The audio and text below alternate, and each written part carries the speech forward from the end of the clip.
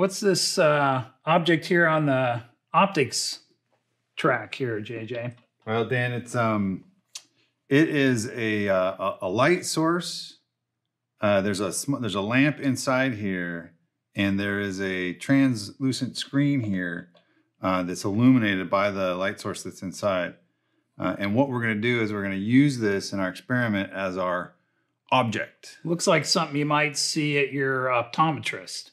Yeah, that's right. There are there are lines on here to make measurements both left and right and up and down for uh, additional experiments if we wanted.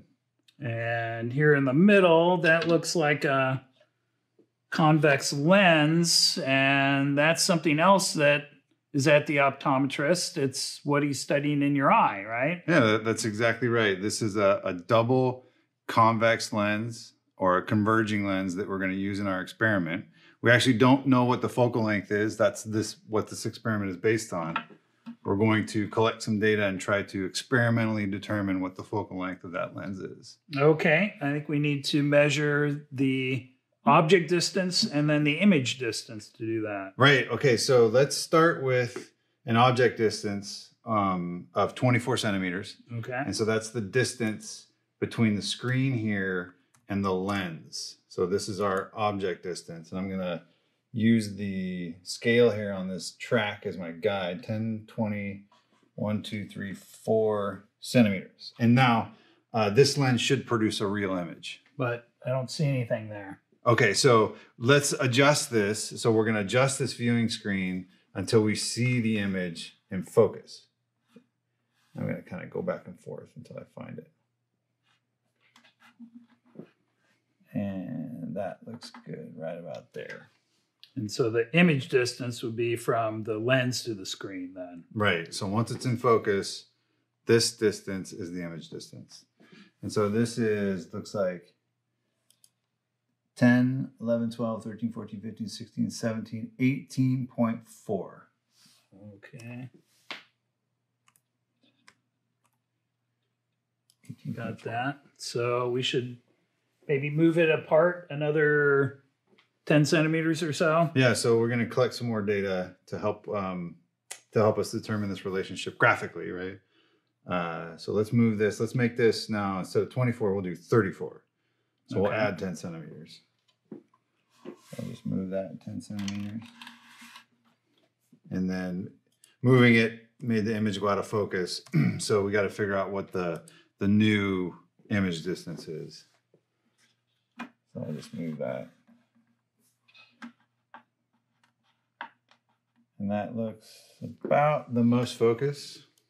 And that is 10, 11, 12, 13, 14, 15 centimeters. So it went down as that went up. Right. That's right. Okay. Let's keep going. 10 more centimeters. So now, two, three. So we've got 10, 20, 30, 44 centimeters, right? Right. Okay. And then uh, I'll adjust this. And right about there. there is the most focus. Let me just double check. Yeah. And this is 10, 11, 12, 13.6. Okay. Should do a couple more here. All right. We'll do 10 more. And then we'll move that.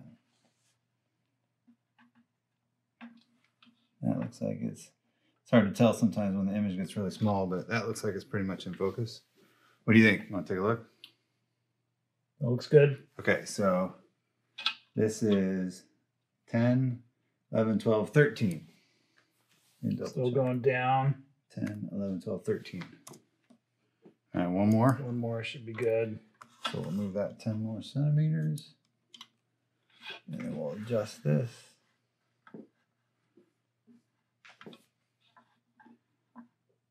That looks good right there. 10, 11, 12.4. 10, 11, 12.4. Yeah. Okay, that's five data points, and I've entered them into this capstone file, which you have access to. And so your job is to do the analysis to look at the relationships between this data, uh, make a graph, and come up with a thin lens uh, formula and apply that to some questions.